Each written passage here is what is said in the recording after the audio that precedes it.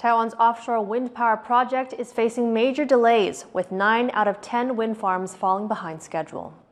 Despite an investment of over 28 billion US dollars, only one of Taiwan's 10 offshore wind power sites has met its target.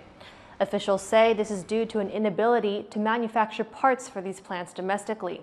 The Energy Administration says it will reduce development costs and encourage domestic investment to combat these issues. Taiwan is also facing pressure from the EU, which says its wind power localization violates WTO rules.